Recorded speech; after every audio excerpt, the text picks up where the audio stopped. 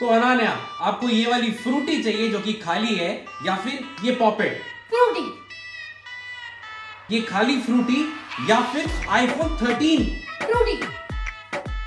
ये खाली फ्रूटी या फिर आईपैड फ्रूटी।